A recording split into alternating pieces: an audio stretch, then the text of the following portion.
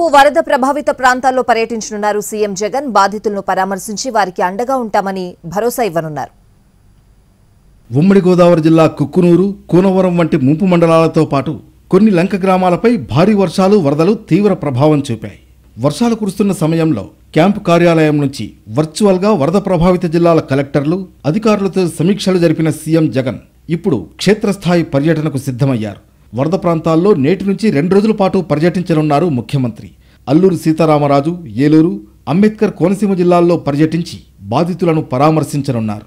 అధికారులు చేపట్టిన వరద సహాయక పునరావాస కార్యక్రమాలను సమీక్షించనున్నారు. ఈ ఉదయం తొమ్మిదిన్నరకు తాడేపల్లి నుంచి బయలుదేరి అల్లూరు సీతారామరాజు జిల్లా కోనవరం మండలం కోతులగుట్ట గ్రామానికి చేరుకుంటారు సీఎం జగన్. పదకొండు గంటలకు కూనవరం బస్టాండ్ సమీపంలో వేదిక దగ్గర కూనవరం విఆర్పురం మండలాలకు చెందిన వరద బాధితుల కుటుంబాలను పరామర్శిస్తారు. అక్కడి నుంచి మధ్యాహ్నం రెండు గంటల ప్రాంతంలో కుక్కునూరు మండలం గుమ్ముగూడెం గ్రామానికి వెళతారు. అరగంట పాటు ఆ గ్రామంలోని బాధిత కుటుంబాలతో ఇంటరాక్ట్ అవుతారు. వారి సమస్యలు అడిగి తెలుసుకుంటారు. ఆ తర్వాత సాయంత్రం నాలుగున్నర గంటలకు రాజమండ్రి ఆర్ఎన్బి గెస్ట్ హౌస్కు చేరుకుని స్థానిక నాయకులతో సమావేశమవుతారు. రేపు అంబేద్కర్ కోనసీమ జిల్లా ముమ్మిడివరం మండలంలోని పలు గ్రామాల్లో పర్యటించనున్న సీఎం వరద బాధితులకు భరోసా కల్పించనున్నారు.